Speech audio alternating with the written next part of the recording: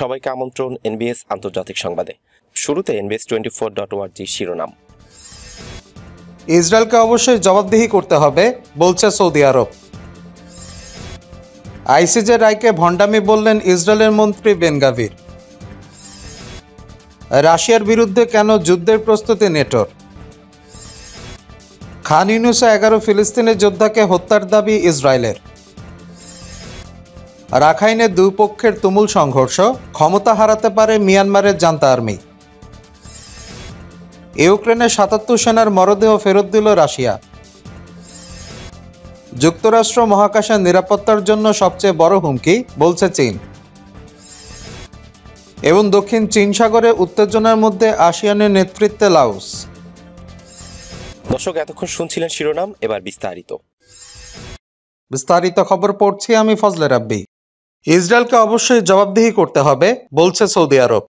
গাজা ইসরায়েলে গণহত্যা বন্ধ করতে দক্ষিণ আফ্রিকার মামলার রায়ে ছয়টি নির্দেশনা দিয়েছে আন্তর্জাতিক বিচার আদালত। শুক্রবারই সিদ্ধান্তকে সৌদি আরব স্বাগত জানিয়েছে। সৌদি পররাষ্ট্র মন্ত্রণালয় গাজায় ইসরায়েলের যুদ্ধের বিষয়ে জাতিসংঘের শীর্ষ আদালতের রায়ের পর আন্তর্জাতিক আইনে লঙ্ঘনের জন্য ইসরায়েলকে জবাবদিহি করতে আন্তর্জাতিক সম্প্রদায়ের প্রতি আহ্বান জানিয়েছে। সৌদি পররাষ্ট্র মন্ত্রণালয় এক বিবৃতিতে গাজায় যুদ্ধবিরতিতে পৌঁছাতে এবং ফিলিস্তিনি জনগণের সুরক্ষা প্রদানের জন্য আরও পদক্ষেপ গ্রহণের আহ্বান জানিয়েছে। আন্তর্জাতিক আদালত গাজা ইস্যুতে রায় দেয়। এই রায়ে খুশি হয়েছে দক্ষিণ আফ্রিকা আর হতাশ হয়েছে ইসরায়েল, কারণ দক্ষিণ আফ্রিকায় যুক্তি মেনে নিয়েছে আদালত। তবে দক্ষিণ আফ্রিকা অবিলম্বে গাজায় যুদ্ধবিরতির যে আদেশ দিতে বলেছিল আদালতকে, তা দেওয়া হয়নি। এটা তাদের জন্য পুরোপুরি জয় আনেনি। এই রায়ের প্রতিক্রিয়া ইসরায়েলের প্রধানমন্ত্রী বেনিয়ামিন নেতানিয়াহু বলেছেন, ইসরায়েল আন্তর্জাতিক আইন মেনে নিজেদের এবং নিজেদের নাগরিকদের রক্ষা করতে থাকবে। ইসরায়েলের প্রধানমন্ত্রী বলেছেন, নিরঙ্কুশ বিজয় না হওয়া পর্যন্ত এবং সমস্ত বন্দী ফিরে না আসা পর্যন্ত ইসরায়েলে যুদ্ধ চালিয়ে যাবে। আইসিজে রায়ে গাজায় গণহত্যামূলক কর্মকাণ্ড প্রতিরোধে ইসরায়েলকে অবশ্যই সব ব্যবস্থা নিতে বলা হয়েছে। তবে আইসিজে গাজায় অবিলম্বে যুদ্ধবিরতির বিষয়ে দক্ষিণ আফ্রিকার অনুরোধের সাথে একমত হননি। আইসিজে রায়কে ভণ্ডামি বললেন ইসরায়েলের মন্ত্রী বেনগাভির।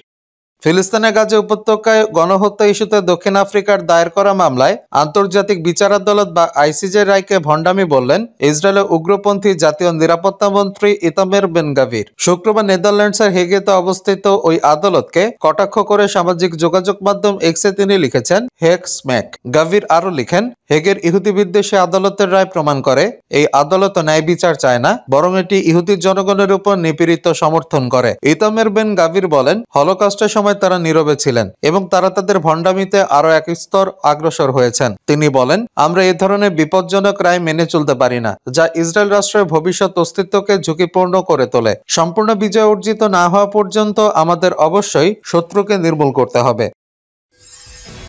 রাশিয়ার বিরুদ্ধে কেন যুদ্ধের প্রস্তুতি নেটোর রাশিয়া ইউক্রেন যুদ্ধের মধ্যে বড় ধরনের সামরিক মহড়া শুরু করেছে পশ্চিমা সামরিক জোট নেটো। বুধবার চব্বিশে জানুয়ারি স্টেট ফার্স্ট ডিফেন্ডার দুই নামে এ মহড়া শুরু হয়েছে। নব্বই হাজার সেনা, পঞ্চাশটির বেশি যুদ্ধজাহাজ, আশিটির বেশি যুদ্ধ বিমান এবং শত শত ট্যাঙ্ক ও সাজোয়া যান নিয়ে মহড়া চলবে কয়েক মাস ধরে। পশ্চিমা নেতারা এটাকে স্নায়ুযুদ্ধের পর সবচেয়ে বড় সামরিক মহড়া হিসেবে অভিহিত করেছেন এবং তারা কোন রকম ভনিতা ছাড়াই বলছেন তাদের এই সামরিক মহড়া রাশিয়াকে মোকাবেলা করার জন্য। প্রশ্ন হলো, নেটো কি কারণে রাশিয়ার বিরুদ্ধে যুদ্ধের প্রস্তুতি নিচ্ছে। নেটো মূলত সামরিক জোট। স্নায়ুযুদ্ধের প্রাককালে এর জন্ম। দ্বিতীয় বিশ্বযুদ্ধের পর উনিশশো উনপঞ্চাশ সালের এপ্রিলে যুক্তরাষ্ট্র, কানাডা, যুক্তরাজ্য ফ্রান্স সহ ইউরোপীয় ভারত দেশ নর্থ আটলান্টিক ট্রিটি নামে একটি চুক্তি স্বাক্ষর করে। সেই চুক্তির মধ্যস্থতা দিয়ে গড়ে ওঠে নেটো। ওই চুক্তির প্রতিরক্ষা প্রতিষ্ঠানগুলো রাজনৈতিক ও সামরিক ক্ষেত্রে একে অপরকে রক্ষার অঙ্গীকার করে। এর মূল লক্ষ্য ও উদ্দেশ্য সোভিয়েত ইউনিয়নের আগ্রাসনের হাত থেকে পশ্চিম বার্লিন ও ইউরোপের নিরাপত্তা নিশ্চিত করা।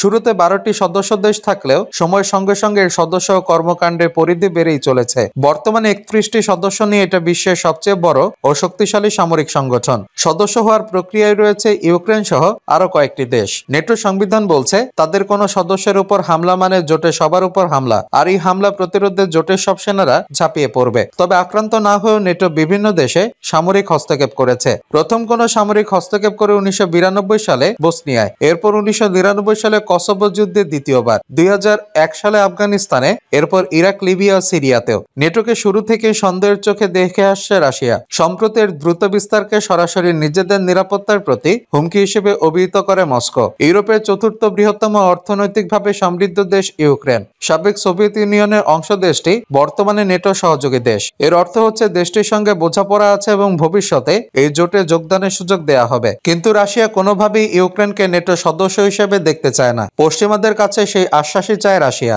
গত বেশ কয়েক বছর ধরে নেটোয় যোগদানের চেষ্টা করছে, কিন্তু এর বিরোধিতা করে আসছিল প্রতিবেশী রাশিয়া। কারণ ইউক্রেনের সদস্য হলে সেখানে সহজেই সেনা মোতায়েন করতে পারবে নেটো। রাশিয়ার বিরোধিতা সত্ত্বেও সিদ্ধান্ত থেকে সরে আসেনি কিয়েভ। বরং সম্প্রতি নেটোয় যোগদানের কূটনৈতিক প্রচেষ্টা আরও যোগদান করেন প্রেসিডেন্ট ভলোদিমির জেলনেসকি, যা রাশিয়াকে খেপিয়ে তোলে এবং এরই প্রতিক্রিয়ায় দুই হাজার একুশ সালের শেষের দিকে ইউক্রেন সীমান্তে লক্ষাধিক সেনা মোতায়েন করে মস্কো। খান ইউনুস এগারো ফিলিস্তিনি যোদ্ধাকে হত্যার দাবি ইসরায়েলের। ফিলিস্তিন অবরুদ্ধ গাজা উপত্যকার খান ইউনুসে ইসরায়েলের হাতে অন্তত এগারো ফিলিস্তিনের যোদ্ধা নিহত হয়েছে। শনিবার সাতাশে জানুয়ারি এই তথ্য জানিয়েছে ইসরায়েলি সামরিক বাহিনী। এক প্রতিবেদনে ব্রিটিশ বার্তা সংস্থা রয়টার্স এই খবর জানিয়েছে। এক বিবৃতিতে শনিবার ইসরায়েলি সেনাবাহিনী জানিয়েছে, গাজার খান ইউনুসের যুদ্ধ, ইসরায়েলি বিমান, ট্যাঙ্ক এবং পদাতিক সেনারা গত চব্বিশ ঘন্টায় অন্তত এগারো ফিলিস্তিনি যোদ্ধাকে হত্যা করেছে। এর আগে ইসরায়েলি সেনাবাহিনীর অপর একটি বিবৃতিতে বলা হয়, ইসরায়েল সেনারা ফিলিস্তিনি যোদ্ধাদের লক্ষ্যবস্তু করাচ্ছে। তখন যোদ্ধাদের একটি দল তাদের সেনাদের কাছে বিস্ফোরক রাখার চেষ্টা করেছিল এবং অন্যান্য দলগুলো সেনাদের লক্ষ্য করে রাইফেল ও রকেট চালিত গ্রেনেড ছুড়েছিল। এ হামলায় ইসরায়েলি সেনাদের কেউ হতাহত হয়েছে কিনা জানা যায়নি। রাখাইনে দুপক্ষের তুমুল সংঘর্ষ। মিয়ানমারের সংঘাতময় রাখাইন রাজ্যে সরকারি সেনা ও বিদ্রোহীদের মধ্যে আবারও ভয়াবহ লড়াই শুরু হয়েছে। জান্তা সেনারা বিদ্রোহীদের উপর বিমান হামলা চালাচ্ছে। রোহিঙ্গা অধ্যুষিত এলাকায় সংঘর্ষে নিপীড়িত এ জনগোষ্ঠীর বহু সদস্য হতাহত হয়েছে বলে বিভিন্ন মাধ্যমে খবর পাওয়া যাচ্ছে। শুক্রবার বিকালে বোমারু বিমান নিয়ে তাতমাতো নামে পরিচিত মিয়ানমারের সেনাবাহিনী আরাকান আর্মির উপর হামলা চালায়। এছাড়া শুক্রবার ভোর থেকে রাখাইনের বুচিডং এবং ফুমালিতে রোহিঙ্গা অধ্যুষিত এলাকায় দুই পক্ষের মধ্যে তুমুল সংঘর্ষ হয়েছে। তাতমাদোর সঙ্গে আরাকান আর্মির লড়াইতে বেশ কয়েকজনের হতাহতের খবর পাওয়া গেলে এর সত্যতা নিশ্চিত হওয়া যায়নি। দুই পক্ষের তুমুল লড়াইয়ের সময় মিয়ানমারের সেনাবাহিনীর ঘাঁটি হতে আর্টিলারি গানসহ ভারী অস্ত্রে খোলা ছুড়ে মারলে হতাহতের ঘটনা ঘটে। দুই পক্ষের সংঘর্ষে বেশ কিছু রোহিঙ্গা আহত হয়েছে। আহতদের কয়েকজনকে বুচিডংয়ের স্থানীয় হাসপাতালে ভর্তি করা হয়েছে। সংঘর্ষে গুরুতর আহত কয়েকজনকে জাতিসংঘের শরণার্থী সংস্থার অ্যাম্বুলেন্সে করে মংডুর হাসপাতালে পাঠানো হয়েছে। ইউক্রেনের সাতাত্তর সেনার মরদেহ ফেরত দিল রাশিয়া।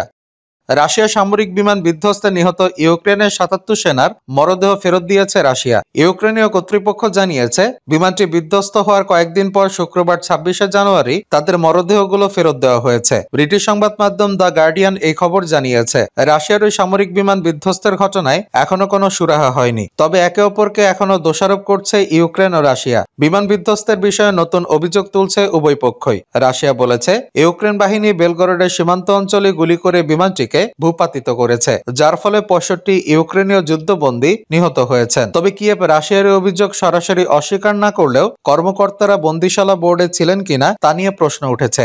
রাশিয়ার রাষ্ট্রীয় গণমাধ্যম জানিয়েছে, সামরিক বিমানের ব্ল্যাক বক্সগুলো পরীক্ষা নিরীক্ষার জন্য মস্কোর একটি বিশেষ পরীক্ষাগারে পাঠানো হয়েছে। এদিকে রুশ সামরিক বিমান বিধ্বস্তের ঘটনার সত্যতা পরিষ্কারভাবে সামনে আনার আহ্বান জানিয়েছেন ইউক্রেনের প্রেসিডেন্ট ভলোদিমির জেলনেসকি। তার অভিযোগ, রাশিয়া ইউক্রেনীয় যুদ্ধবন্দীদের জীবন নিয়ে খেলছে। যুক্তরাষ্ট্র মহাকাশের নিরাপত্তার জন্য সবচেয়ে বড় হুমকি বলছে চীন। মহাকাশের নিরাপত্তার জন্য যুক্তরাষ্ট্র সবচেয়ে বড় হুমকি হয়ে উঠেছে। দেশটি প্রকাশ্যে মহাকাশকে যুদ্ধক্ষেত্র হিসেবে চিহ্নিত করেছে। সেখানে ব্যাপকভাবে সামরিক শক্তি বাড়াচ্ছে এবং বড় দেশগুলোর মধ্যে বৈরিতাকে উস্কে দিচ্ছে। চীনের পররাষ্ট্র মন্ত্রণালয়ের মুখপাত্র ওয়াং ওয়েনপিন শুক্রবার বেইজিং এ নিয়মিত এক সাংবাদিক সম্মেলনে এ অভিযোগ করেন। মুখপাত্র বলেন, যুক্তরাষ্ট্র দীর্ঘকাল ধরে মহাকাশে চীনের হুমকি তথ্য প্রচার করে আসছে। এর মূল লক্ষ্য হল মহাকাশে নিজের সামরিক শক্তি বৃদ্ধি করা ও সামরিক আধিপত্য বিস্তার করা। তিনি আরও বলেন চীন মহাকাশে শান্তিপূর্ণ ব্যবহারে বিশ্বাসী এবং সেখানে সামরিক প্রতিযোগিতার বিরোধী। চীন আইনানুকভাবে মহাকাশে শান্তি ও স্থিতিশীলতা রক্ষা করতে চায়। যুক্তরাষ্ট্র উচিত মহাকাশকে কেন্দ্র করে চীনের বিরুদ্ধে গুজব ছড়ানো মিথ্যাচার বন্ধ করা। দক্ষিণ চীন সাগরে উত্তেজনার মধ্যে আসিয়ানের নেতৃত্বে লাওস। দক্ষিণ চীন সাগরে চীন এবং দক্ষিণ পূর্ব এশিয়ার কয়েকটি দেশের মধ্যে ক্রমবর্ধমান উত্তেজনার মধ্যে এখন নিয়মিত সরাসরি সংঘাতের সৃষ্টি হচ্ছে। আর মিয়ানমারে তিন বছর আগে ক্ষমতা দখল করা সামরিক সরকারের বিরুদ্ধে লড়াই এখন এমন এক পৌঁছেছে যে অধিকাংশ বিশেষজ্ঞ বলছেন, দেশটিতে এখন গৃহযুদ্ধ বিরাজ করছে। অনেকের উচ্চাসা ছিল, দুই হাজার তেইশ সালে Association of Southeast Asian Nations বা আসিয়ানের নেতৃত্বে থাকা ইন্দোনেশিয়া এই সংগঠনের বৃহত্তম দেশ হিসেবে নিজেদের প্রভাবকে ব্যবহার করে উভয় সমস্যার একটি সমাধান বের করতে গুরুত্বপূর্ণ ভূমিকা নিতে পারে। তবে এই বিষয়ে অগ্রগতি ছিল খুবই কম। বর্তমানে এই সংগঠনের সবচেয়ে দরিদ্র ছোট দেশগুলো অন্যতম লাউস পালাক্রম অনুসারে আসিয়ানের নেতৃত্ব দেওয়ার দায়িত্ব পেয়েছে। সপ্তাহান্তে আসিয়ানের এই বছরের প্রথম শীর্ষ পর্যায়ের বৈঠক শুরু হয়। লুয়াং প্রবাং এ সমবেত হন আসিয়ানভুক্ত দেশগুলো পররাষ্ট্রমন্ত্রীরা। আসিয়ান তার সবচেয়ে বড় চ্যালেঞ্জগুলো বৃদ্ধি ও সম্প্রসারণ ঠেকাতে পারবে কিনা তা নিয়ে অনেকে হতাশা প্রকাশ করেছেন। গত দুই হাজার একুশ সালে ফেব্রুয়ারিতে মিয়ানমারে গণতান্ত্রিকভাবে নির্বাচিত অং সুচি সরকারের কাছ থেকে সামরিক বাহিনী ক্ষমতা দখল করে নেয়। এরপর শান্তি প্রতিষ্ঠার জন্য আসিয়ান পাঁচ দফা ঐক্যবদ্ধ পরিকল্পনা নিয়ে আসে।